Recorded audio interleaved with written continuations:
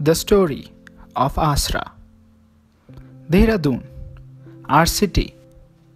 Our job was to locate an abandoned public site round the town.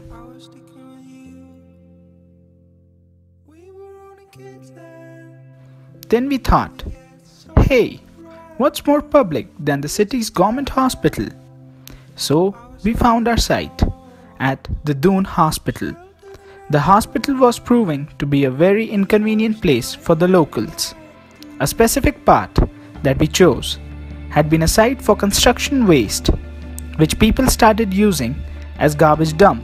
There was no place for people, especially patients, to wait or rest outside the hospital building.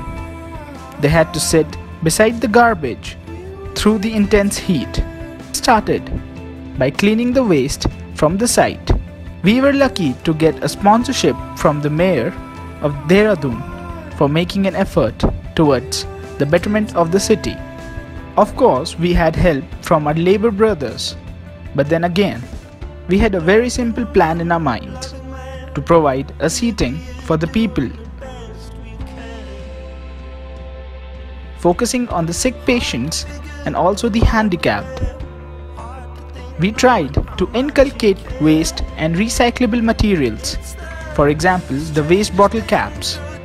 We also provided a pathway for wheelchairs around the seating, and a special mention to a pinch of a village flavor to make people feel like it is their Aasra. We painted, we planted, we did everything we could.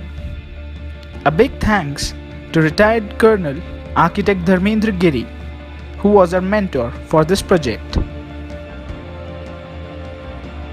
And finally, the big day came the inauguration of our site by Mr. Vinod Chamoli, Mayor of Dehradun. We had a large gathering students, local authorities, public, all witnessed this memorable moment. It is so splendid I, I, I can really not express myself this. I'll tell you what. This is simply fantastic. People, they were happy. And when they were happy, we were happy.